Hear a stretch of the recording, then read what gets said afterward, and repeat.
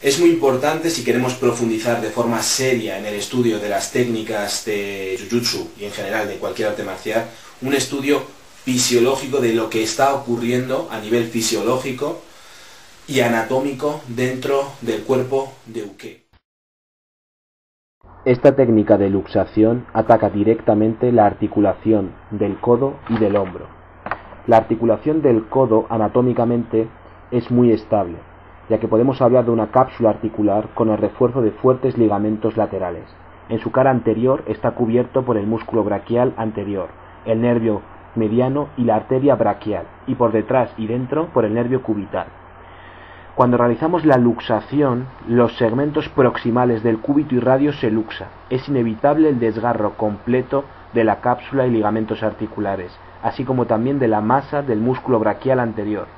Todo ello acompañado de una hemorragia intensa que inunda todo el campo articular.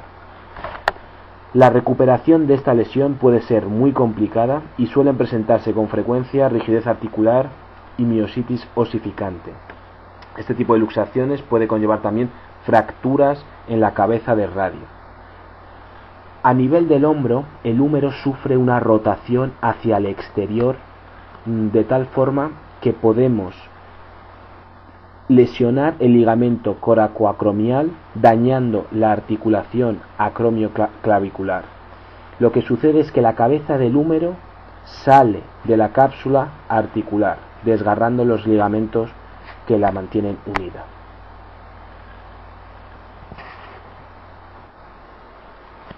Una vez que somos aprisionados en nuestro brazo derecho, daremos un paso al frente con nuestra pierna derecha y bajaremos nuestro centro por debajo del deuqué.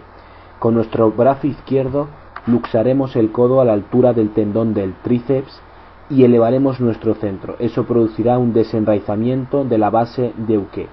Es en este momento en el que con un golpe seco giraremos la cadera colocando la pierna derecha delante y es aquí donde se produce la luxación en el codo y en el hombro.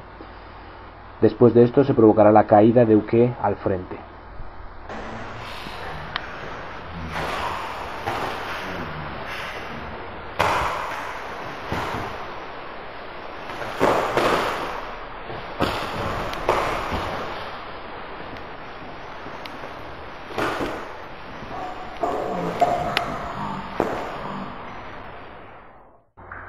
Una vez que somos agarrados, es imprescindible mover la mano de forma correcta hacia la izquierda. Con esto conseguiremos, por un lado, enderezar el codo para poder aplicar la luxación y por otro lado alejar el lado derecho de Uke, que es el lado que está libre y podría atacarnos con un tanto o con la mano vacía.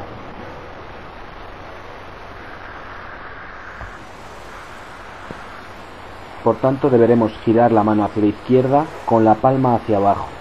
Con eso conseguiremos que su muñeca forme un ángulo recto y de esta forma enderezar su codo. Una vez que está enderezado su codo podremos incidir sobre la rotación que deseamos en el hombro.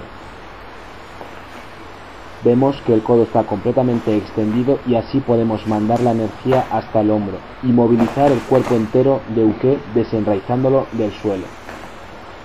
En el caso de que la mano estuviera mal colocada, Uke podría tensar su bíceps y doblar su codo.